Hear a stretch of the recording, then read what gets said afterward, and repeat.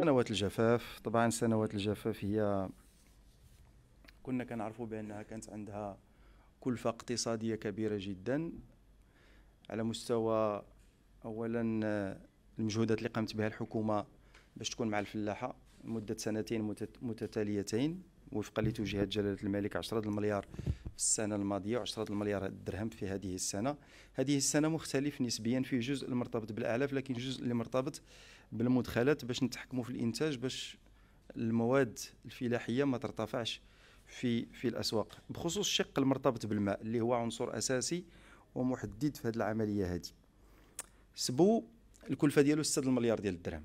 سبق لي تكلمت عليها في هذه الندوة غير مرة. أه تقريبا هذا الصيف هذا. غادي غادي ينتهي هذا المشروع هذا. غادي يزود المنطقة ديال أبو رقراق برقراق بالماء من المنطقة ديال ديال ديال ديال سبو. في نفس المشروع. كاين واحد المشروع على مستوى آه على مستوى فاس المنطقة ديال فاس باش نعملوا واحد تقريبا بواحد 616 مليون ديال الدرهم. الهدف منه هو تنقية هذه المياه اللي كيف ما كنعرفوا في الفترات ديال الزيتون كي يتم يعني نسبيا كيتقاس هذاك الماء بهذوك المخلفات ديال ديال ديال الزيتون. الآن سوف يتم العمل على تنقية هذه المياه ونقل هذه الوحدات. داكشي اللي إلى مكان بعيد جدا باش تكون المياه في في في جودة عالية. في نفس الإطار عملت الوزارة المكلفة بالماء طبعا الحكومة على أنه تسرع من الإنجاز ديال واحد 18 سد كبير. هاد السدود غادي ترفع بالقيمة ديال يعني المجموع الاحتياطي المائي الوطني غيتزاد بخمسة المليار إضافية. بخمسة المليار متر مكعب. أه كاين مجموعة ديال السدود اللي اللي بلا ما نتكلم عليها.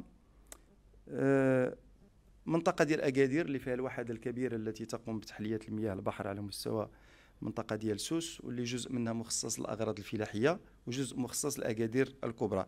سوف يتم أيضا تسريع البرنامج من أجل الرفع من من من هذا من هذا من هذه الطاقة الإنتاجية. الداخلة أيضا يتم الآن العمل حاليا على إنجاز محطة ديال التحلية بمدينة الداخلة. جزء منها أيضا موجه للسقي ديال واحد 5000 هكتار. تم توقيع في هذا الشهر هذا اتفاق مع المكتب الشريف للفوسفات بخصوص وحدتين غيزودوا آسفي وجديدة. آه، أيضا سوف يتم إعطاء الانطلاقة لإنجاز محطة التحليه بالمنطقة الشرقية ببطاقه استيعابية تصل إلى 250 مليون متر مكعب. سوف يتم أيضا إطلاق المحطة ديال الدار البيضاء إن شاء الله. نتمنوا من هنا لنهاية السنة. أيضا هناك برنامج كبير اللي هو البرنامج ديال ديال تسريع مشاريع إعادة استعمال المياه العادمة خاصة في المجالات ديال الري المناطق الخضراء وغيرها. هذا المشروع هذا سيمكن في الشطر الأول ديالو من تعبئه 100 مليون متر مكعب سنويا من خلال إنجاز 33 مشروع مبرمجا. منها 18 توجد في طور الإنجاز حاليا. وعلى مستوى العالم القروي راه يتم العمل طبعا آه، من أجل مواجهة الخصص اللي كيتطرح في بعض المناطق. بخصوص قبل ما تخرجوا ما تنسوش تابوناو في العشان يوتيوب. وبارطاجيو الفيديو وديروا جيم. وتابعوا الدار على مواقع التواصل الاجتماعي.